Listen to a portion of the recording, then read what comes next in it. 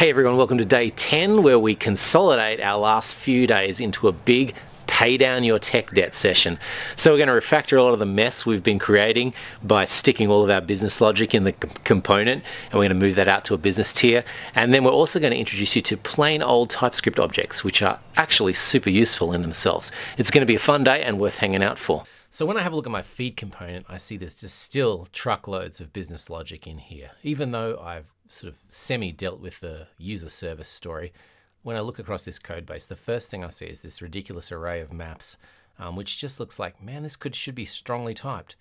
But what we haven't covered yet from the command line is how to actually just generate a plain TypeScript class. So let's show you how to do that. So it's an ngg, and normally you'd do C as the abbreviation, but that's already taken for components, so you actually have to type it in. So why don't we generate a tweet class that's going to hold our logic that's going to presently be held in this map. So we're going to have a body field, an author field, and all that kind of stuff. Now, when you get when one gets sparked up, initially there's pretty much just nothing here. Now we've talked before about constructors and some of the little uh, conveniences that TypeScript lets you do in a constructor. So for instance, if you were going to have a property like um, author or um, you were going to have a property like um, uh, date or whatever it was the properties you're going to have, one way that you you would typically do that is you do something like author equals, and then in here you might have you know uh, the author of type string, and then in Java you'd do something like this. You'd go this dot author equals the author. Well, in TypeScript, you can do this all in the actual constructor argument. So, for instance, this whole property could be removed and you can just declare this as being private author the author and it creates in fact exactly the same code in the actual generated file. So we're going to take advantage of this for our tweet class. So I'm going to create our tweet class, our constructor here, and copy and paste it here. And you can copy and paste this from the blog post that matches this entry, Alt Shift F to rearrange it. So here we're taking in our body, our author, our date, our retweets, and I'm just actually got rid of the avatar property because in our case, it's always the author's ID followed by JPEG. So this is a little neat ES6 thing that you may not have used before. If you use backticks, this will use interpolation. So I can actually just reference this author field here and it will get pl um, plonked straight into that string before the assignment. So now I've got a tweet class. It's got all these properties like, you know, this dot body and this dot uh, date and all those kind of stuff. They're all created automatically by declaring these uh, access modifiers on the actual constructor. So I've got that, it's up and running. Now let's refactor our massive tweets array by, uh, instead of having a map, let's change this component here. So it's now just a whole bunch of objects. Now I'm going to have to import that tweet object, object which is from dot slash tweet. And then I have a whole array of tweets, real actual typed objects, which is super, super cool. And if I was to run that in my editor. In fact, it's already sparked up, but we'll just do a refresh to prove to myself that's actually still working. I've got all the functionality I had before. Just rather than using a map, I'm now using some strongly typed objects so I can take advantage of completion and all that kind of goodness, strongly typed goodness. Okay, so now I've got this, but it's still a bunch of logic living in the feed component. It's time for us to abstract that out to a business component. So let's create a service. We've done that before. ng generate service uh, we're going to make this the feed service, okay? So we're going to make a feed service is going to wrap some of this business logic so it can do some of the heavy lifting. Cool, okay, so we've got our feed service. So our next job will be to actually implement some logic in our feed service. So let's find our feed service. Here he is.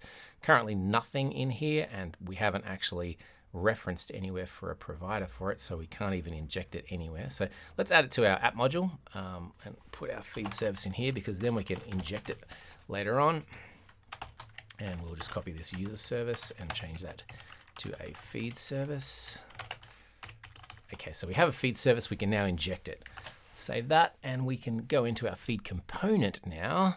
And what we'll do here is we'll inject our private feed service, which is the type feed service. And we now have a feed service that's going to be able to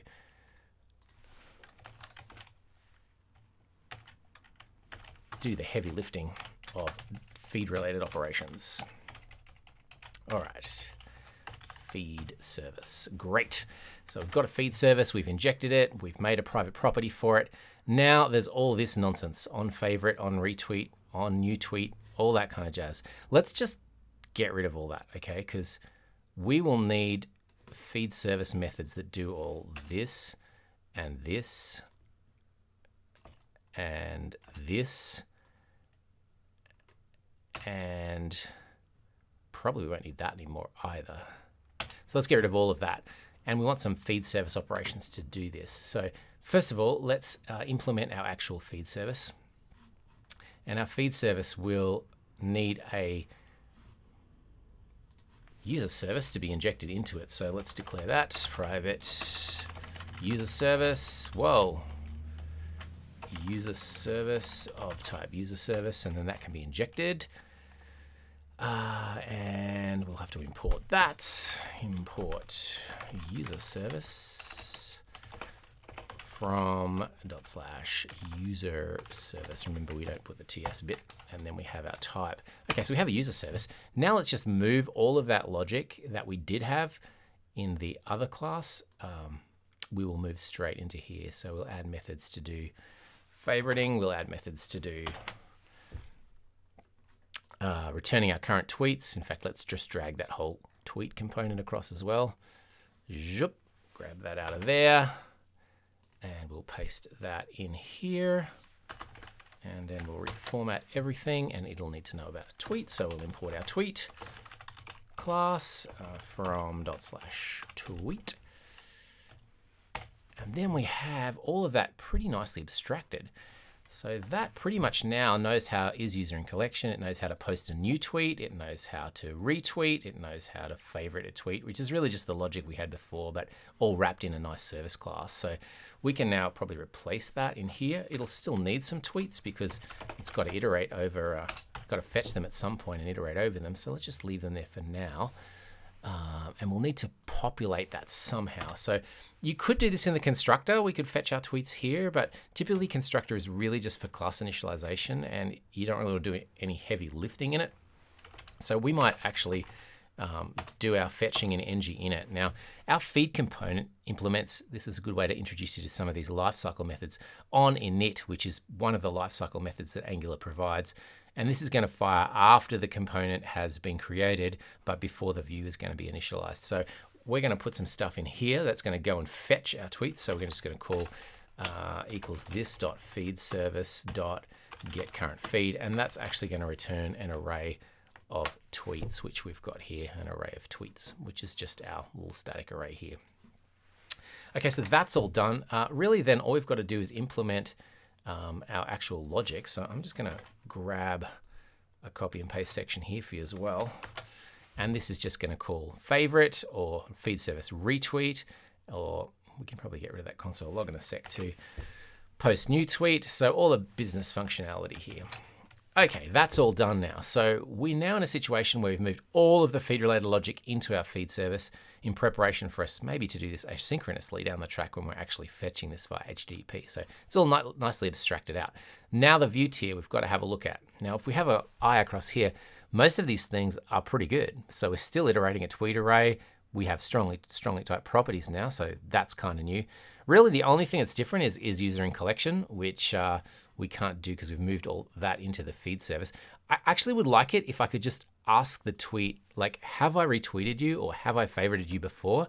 So what we might do is we might just um, change this is user collection to just ask the tweet itself. Um, tweet dot uh, has favorited, and I still probably will need to pass it a current user somehow. So maybe I'll just pass it that. And in retweeted, I'd love to ask the tweet tweet dot um, has retweeted and again, just pass it the actual current user because we'll need to go to know what that is before we can execute.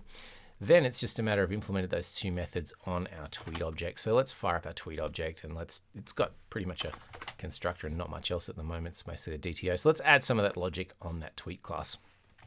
All right, all of that's in now. We finally have all of our tweet functionality happening.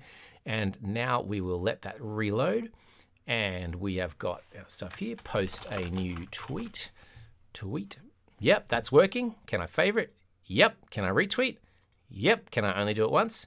Yeah, that's all passing. So that's pretty much our whole cleanup, tidy up for the day. It's a massive refactor. We've done heaps and heaps of business work, but we're now left with a very, very tidy feed component, which really only has a, a few methods that are events that get cascaded through to an actual service call. And then we have a nicely encapsulated feed service that encapsulates all the business logic that I might want to need on this actual um, feed service. Now down the track, we're going to change this to actually use some HTTP calls so that we can actually do some uh, asynchronous programming here as well. So that's going to be super exciting. Stay tuned for that. Tomorrow, we're going to start looking at the router, which is going to be super fun. But I hope you enjoyed today's episode of Massive Code Cleanup and Refactor.